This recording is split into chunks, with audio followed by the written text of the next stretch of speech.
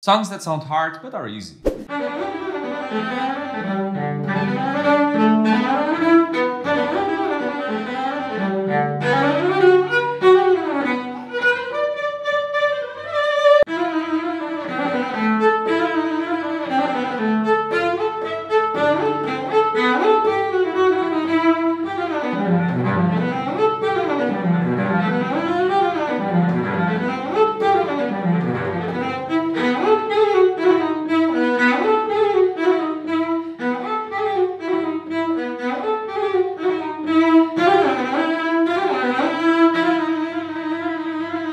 Songs that sound easy but are actually hard.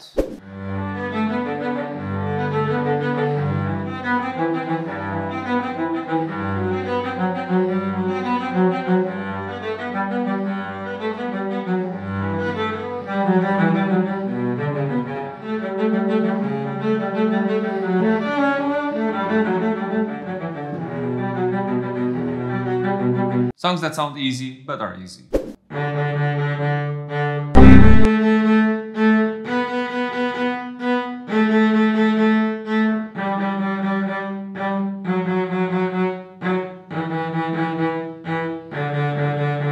Songs that sound hard but are actually hard.